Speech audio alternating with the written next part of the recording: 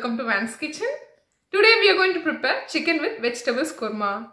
I'm going to prepare this kurma in instant pot. In case you don't have instant pot, you can use a regular pressure cooker. Let's get into the video.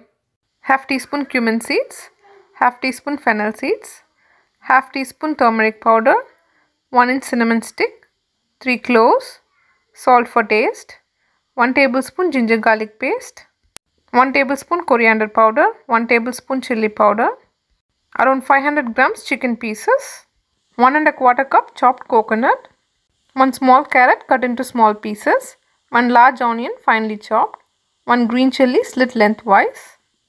You can also use 1 and a quarter cup shredded coconut instead of chopped coconut, half cup chopped beans, 1 large potato cut into small pieces, quarter cup chopped coriander leaves, quarter cup peas, around 3 tablespoons oil.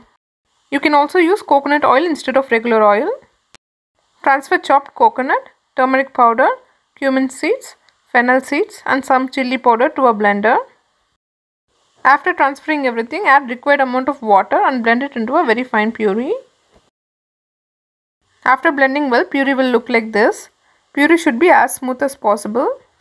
Turn on instant pot and saute mode for around 30 minutes.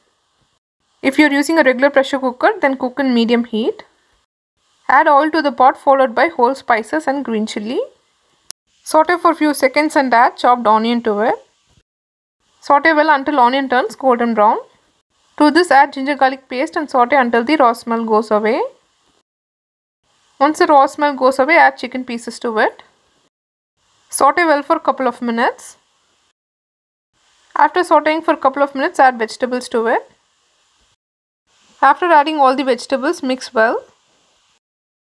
Now add coriander powder, chili powder and salt and mix well. You can add chili powder as per your spice level. Add little water so that the spices won't get burnt. Let chicken and vegetables cook in these spices for few minutes. You can just place the lid on top so that it gets cooked faster. Keep stirring in between so that it won't get burnt in the bottom. After 3 to 4 minutes, remove the lid and add coconut puree to it. You can add some water if required to bring it to your desired consistency. After mixing everything well, check for salt. Finally, add few coriander leaves on top and close the instant pot. Pressure cook for around 3 minutes in pressure cook mode.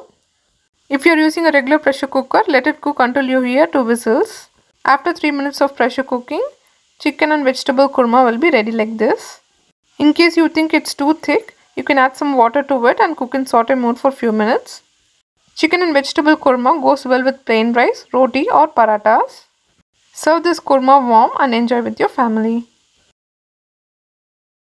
Try this very yummy chicken with vegetables kurma. If you guys like it, please like, share, comment and subscribe. Thank you.